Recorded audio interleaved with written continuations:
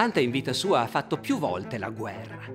Per noi non è un'immagine familiare. Quando ci raffiguriamo Dante ce lo immaginiamo vestito di rosso, col cappuccio, la corona d'alloro in testa da poeta laureato. Ci riesce difficile immaginare Dante a cavallo, con la cotta di maglia di ferro addosso, col grande elmo calato a nascondergli tutta la faccia e il nasone dantesco, con la spada o la lancia in pugno e al braccio sinistro lo scudo con i colori della sua famiglia, nero e oro attraversati da una fascia bianca. Eppure Dante in vita sua ha indossato l'armatura e imbracciato lo scudo molto più spesso di quanto non gli sia capitato di mettersi in testa una corona d'alloro, cosa che probabilmente nella realtà non gli è capitata mai. Dante era un giovane ricco in una città dove tutti i cittadini facevano la guerra. Firenze non assoldava mercenari o pochi ancora a quell'epoca. Ogni cittadino era chiamato a fare la sua parte e chi aveva i soldi aveva il cavallo e le armi e combatteva da cavaliere. E a Dante queste cose interessavano, nella sua opera ne parla spesso. C'è un passo bellissimo in cui racconta quali sono i desideri dei bambini e degli adolescenti. E dice, lo sappiamo tutti, che un bambino piccolo magari desidera terribilmente, che ne so, un frutto, una mela, e poi e poi desidera un uccellino, e poi crescendo desidera un bel vestito, e poi lo cavallo, e poi una donna. Ecco, questa è la progressione dei desideri dall'infanzia all'adolescenza. Desiderare il cavallo al tempo di Dante era come oggi desiderare la moto o la macchina.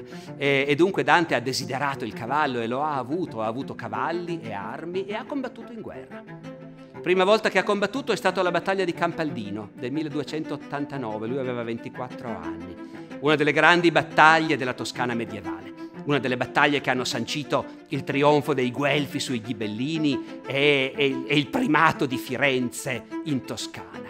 Dante ha combattuto a Campaldino e lo raccontava in certe lettere che noi non abbiamo più, ma che Leonardo Bruni nel Rinascimento ha visto.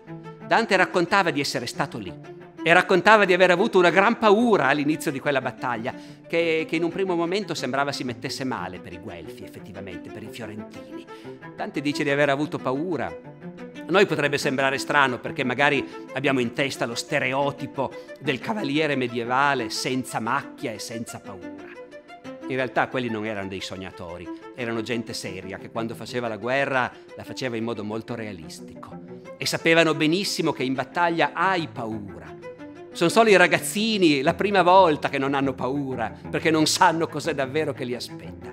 Dante in quelle certe lettere diceva io ho avuto paura e come? E intendeva dire non ero più un ragazzino, ero un uomo che sapeva cosa stava facendo. Ho avuto paura e poi ho avuto grande allegrezza, perché la battaglia alla fine inaspettatamente è finita bene. Ne parla anche nella commedia Dante.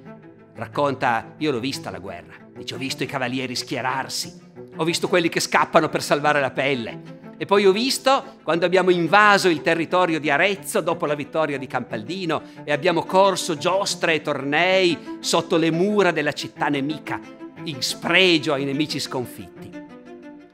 Poi la guerra Dante l'ha fatta anche un'altra volta nella sua vita, anni dopo, quando era ormai in esilio.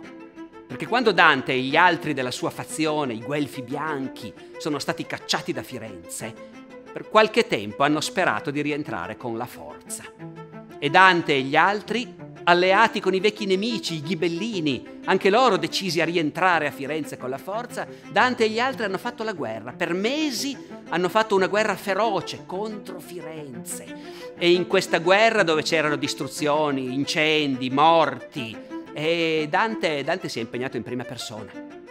Quando il Papa manda un cardinale per tentare di fare la pace tra le parti e far rientrare a Firenze gli esuli, Dante scrive al cardinale e il segretario del partito bianco in quel momento, Dante, e a nome di tutti scrive al cardinale dicendo noi siamo d'accordo, siamo d'accordo con questo tentativo di pace, ci sta bene fare la pace e rientrare, perché noi finora abbiamo combattuto questa guerra, una guerra civile, lo dice proprio, Abbiamo combattuto una guerra civile perché sono i nostri nemici che hanno rotto le regole. Sono loro che hanno rotto le regole per primi, ci hanno cacciati via senza motivo e noi abbiamo fatto la guerra.